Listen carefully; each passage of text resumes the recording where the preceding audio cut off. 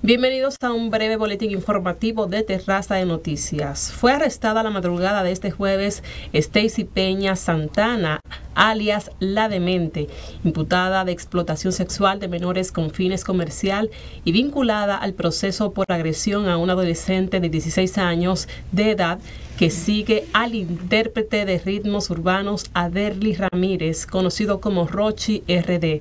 El fiscal titular de Santo Domingo Este, Milcíades Guzmán Leonardo, dijo que la imputada, que se encontraba prófuga, enfrenta la solicitud de la imposición de medida de coerción. Amplíe estas y otras informaciones en la emisión nocturna a las 10. Brita Félix estuvo con ustedes.